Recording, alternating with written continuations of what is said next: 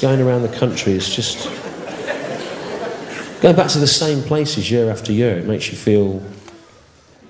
in, uh, 25 years, it makes you think about your own mortality, your own life. But I'll give you an example of what I mean. My, my dad, for example, right, my dad is dead now. But my dad was a rep for a cardboard company.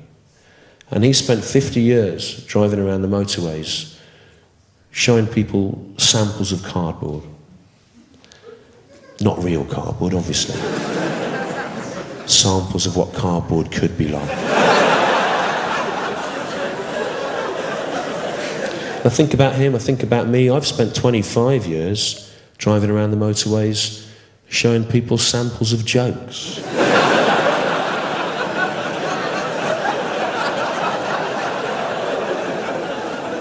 Not. Uh,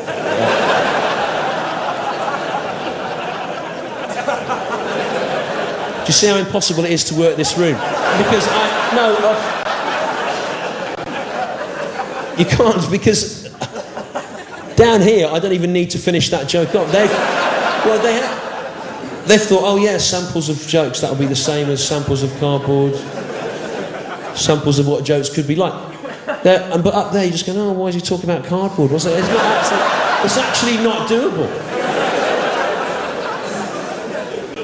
It's very, it's, because down here, this is like a vision of a, this is what it could be like. You know? Where you don't, you're not even, you're not like some dick like doing jokes, you're just putting an idea out there, and they play around with it and it comes back to you. It's like a dialogue, it's like a vision of a, of a utopian, and then up there, it's never going to be that because of.